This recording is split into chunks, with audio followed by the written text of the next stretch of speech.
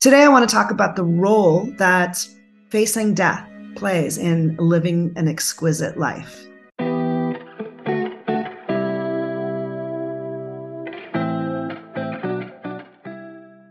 Hi, I'm Lisa LaCroix, and this is my Artful Aging channel. I'm here for the voice, visibility, wisdom, and wealth of women in their 40s, 50s, and 60s. We're going to be talking about things that are relevant to you as you transition into the next chapter of your life.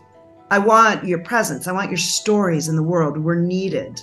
We need to link arms together so that we all have more power, more sovereignty, and more visibility, as well as more representation, so we can change the outdated narratives on aging and reclaim our space and bring the gifts that the world needs from us.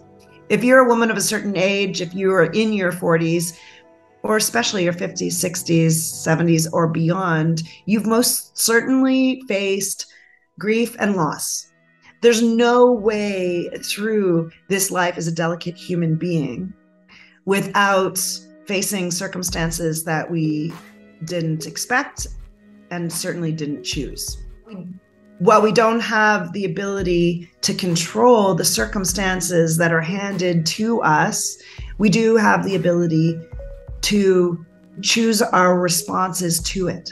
We as human beings are meaning making machines, and we get to choose the stories we assign to the circumstances of our lives. But when it comes to facing death, many, if not most of us, can be challenged to confront the fear, the uncertainty, especially so because our culture does not do a good job of preparing us. Our culture does not recognize the role that aging and death play in the trajectory of our life's journey. North American culture has, at least in recent generations, been poor at integrating the experience of facing aging and death into our culture. And in fact, we have become such a youth oriented culture that there are whole industries built around stopping aging and even attempting to stop death. So while I'm grateful for the medical science and the industries that have made it possible for us to live healthier lives for longer, the question of pushing back against death and trying to win over death, trying to erase death from our existence as human beings, we have to do some both ethical and emotional dancing with how we're holding that pursuit. So maybe the answer to that is that it's fine to pursue the impossible. It's fine to audaciously chase an enormous challenge like ending death. But when we're taking on something like that, we're going to have the beautiful opportunity to dance within our own hearts and minds and spirits, but how we're holding that challenge. Because if we're pursuing such an impossible goal as ending aging and stopping death, we can be seduced into our already strong cultural narrative that it's bad to age. And so, where does that place us, especially as women who have historically been valued for our youth, for our reproductive ability, for our visual beauty in a form that has become very narrowed? When the reality of human beauty is that human beings, by nature of being vibrant, have beauty innate to them, have radiance innate.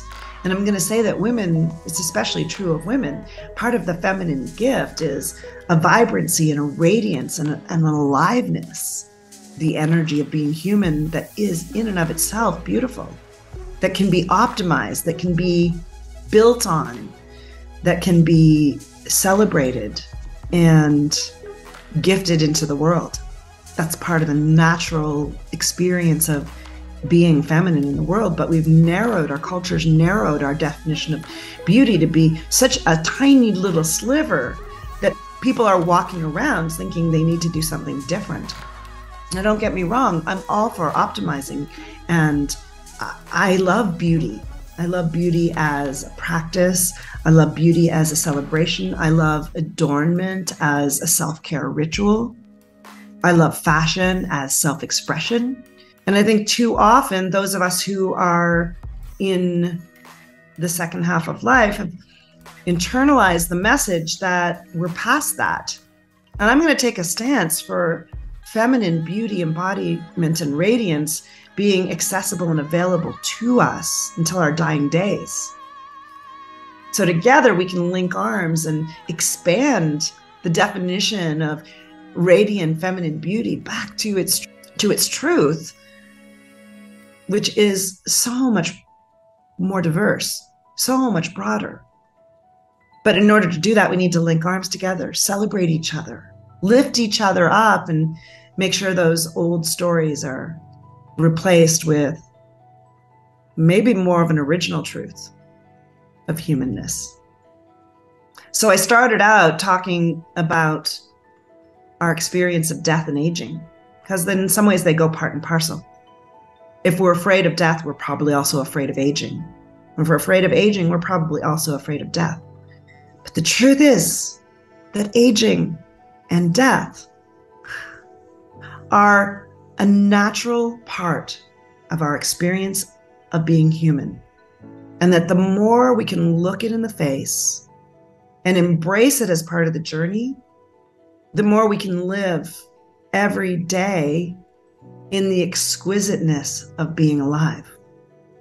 I wrote an article quite a few years ago called Living an Exquisite Life in the Face of Death about some of the learning that I did before I'd faced the loss of any of my close family, probably five years before my mother died of pancreatic cancer.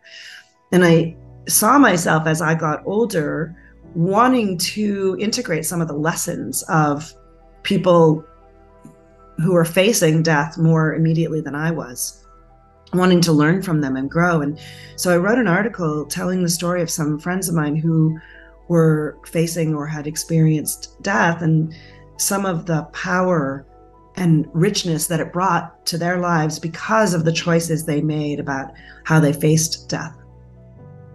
And then my mother died, and I experienced the realness of loss and the, I'm going to say, trauma that losing my mother took me through. But then on the other side is and was a practice and a learning and an exploration of what does it mean to support a good death? What does it mean to have a good death?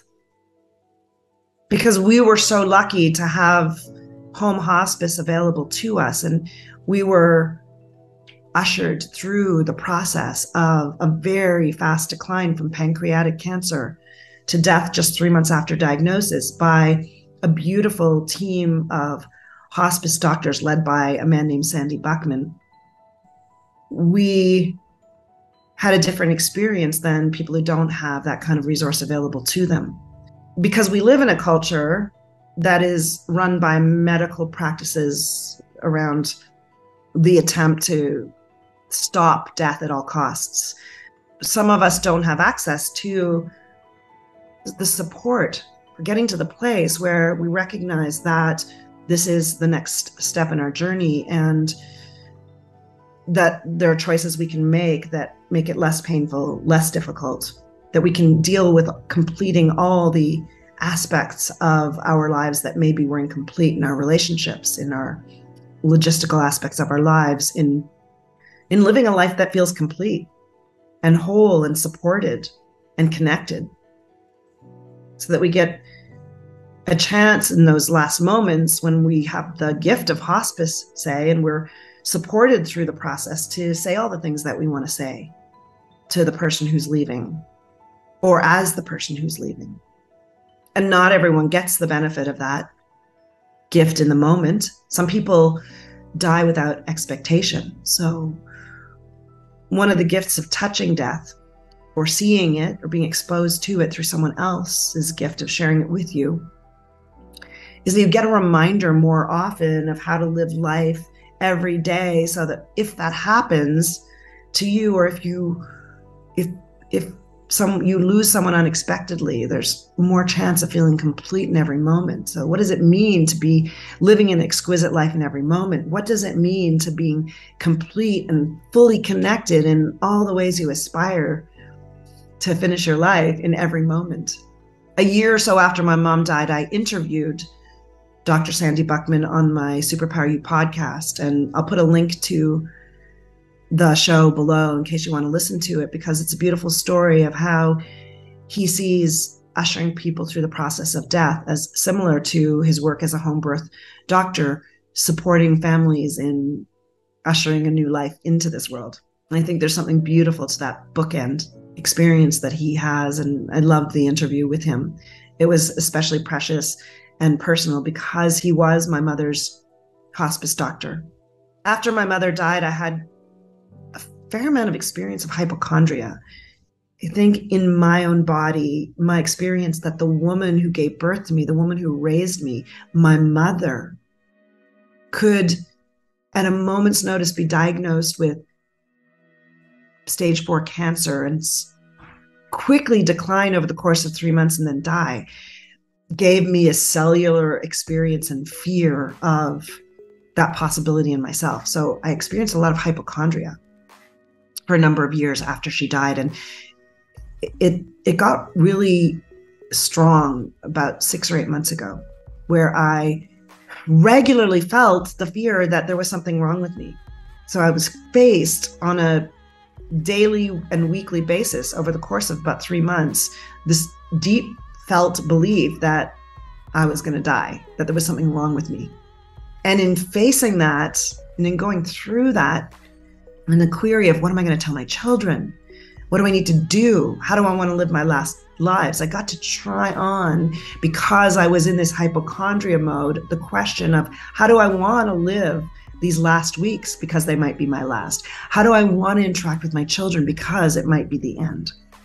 And in so many ways, it was such a beautiful gift to have gone through that process and realize that if tomorrow I'm diagnosed with a fatal disease or given a few days, weeks, or months to live, I want to live those days, weeks, and months as art. I want to find ways to contribute. I want to leave behind some words of wisdom for my children. I want to leave my voice and my mark on the world. I want my legacy to be fully expressed. And in the realizing of that, I myself got yet another reminder of the possibility of living my life in a day to day way that is as close as possible to being complete, to living an exquisite life, to creating the connections that I value, to making sure I don't leave things unsaid. And of course, I'm not perfect because I'm human. I get back into the day to day and back into the experience of overwhelmed by all the to dos and the things that are distractions. But I'm so grateful for those moments when I have a reminder of the fact that our lives can end anytime, with warning or without.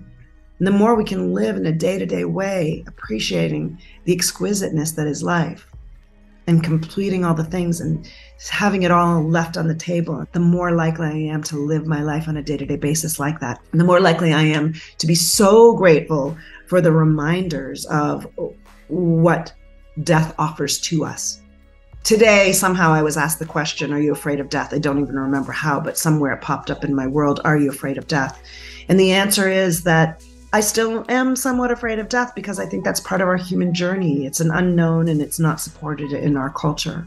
But how we interact with that fear and how we grow towards the acceptance of death is one of the beautiful opportunities that we have available to us on this journey that is life as a delicate human being.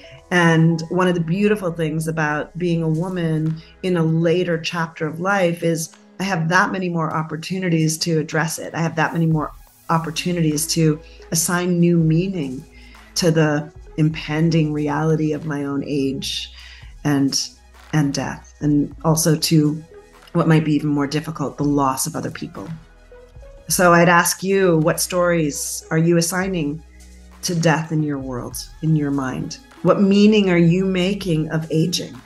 and of your inevitable death? What do you want to do with these moments and days and weeks that are your life right now?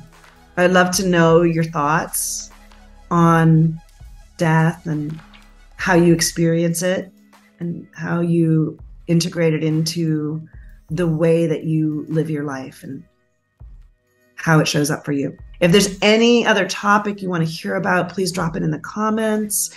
My intention is to be a place where I explore for myself and for you some of the some of the circumstances that we face so that we can live the most empowered, the most fully expressed, the most alive and enriched versions of our life in every day. So I hope some of these thoughts on living an exquisite life in the face of death uh, are useful to you.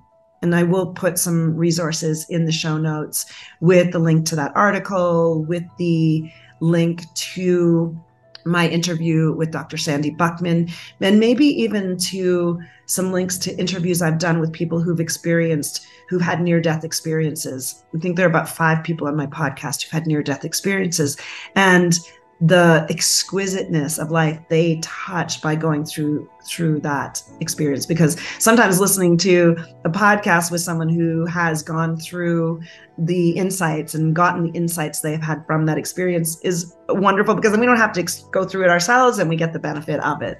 That's the great thing about interviewing people is we get insight and wisdom for free without sometimes paying the heavier cost of the difficult experience that allowed for it so thank you so much for being here. If you want more information or you'd like to check out another video, I'll put some links into the video here where you can check out one of the other playlists or one of the other videos that might be relevant to you around artful aging, speaking skills, or living an exquisite life in the second half. See you next time.